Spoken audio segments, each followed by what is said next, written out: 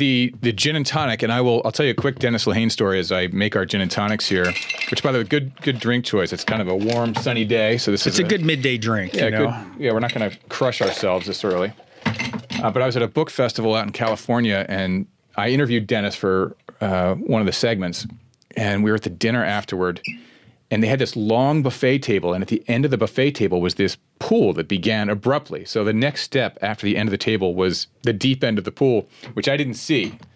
And we'd already had a couple of drinks, and Lehane, on, thank goodness for me, was right behind me because I had my foot hovered over the deep end. I was about to plunge in. He grabbed me by the shirt collar and pulled me, pulled me back. A, a- Really? a lesser man would have shoved me. Yeah. Can I grab a little more ice while we're doing Um, sure, this? we are actually out of the ice on that Oh, oh, cup. that's That was- okay. That was the extent of our ice. That's all right then. Here we Thank go. you for the assist. You are the first to assist with the bartending. I appreciate that. Well, you know, this is a, it's a working interview, Doug. That's right. You gotta you gotta sing for your supper.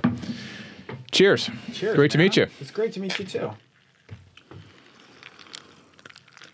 Oh my goodness. Oh, that tastes good. I haven't had a gin and tonic forever. For I love reason, gin I and haven't been doing tonics. those. There's great South African gins that are, you know, they're not floral, but they have all the botanicals. Like gins are great. Gins are like a whole language. And I didn't know that gins, gin is originally from Holland, not from England. We think of them as so British. Yeah. And so there's some great ones with, well, I talk about it a little bit in Lone It's in the book, and and you also identify rum as a substandard spirit. Yes, yes. I like you know, rum's great if you're on a tropical vacation, but Yeah. you know, like let's be honest here. just well, it's just us and no one else listening. No, you you were talking my language in the book. I love those passages on it, mm-hmm. and I did. I just saw some article on gin. I like Hendrick's, and for a while I was on a kick with Plymouth gin. Plymouth And- is naval strength. Yeah, and you know why it's naval strength? no. because it's actually the proof is high enough that it can ignite. And so the British Navy used to never leave port without it. So if they ran out of gunpowder, they could substitute the gin. That's very British. Wow. So that's the naval strength version of Plymouth.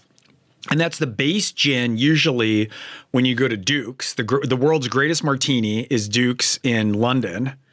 And um, there's a guy there, Alessandro, who is who's like the master martini bartender. He's the only one allowed to pour the vermouth and flick it on the carpet. Everybody else has to pour it on the tray. and they bring the Plymouth out. It's freezing cold, and they have um, their very own vermouth. And I said to him, "Is it true that this vermouth? I had read this is only here and at Buckingham Palace." And I was told, "Sir, if the Queen wants a Duke's martini, the Queen comes to Duke's."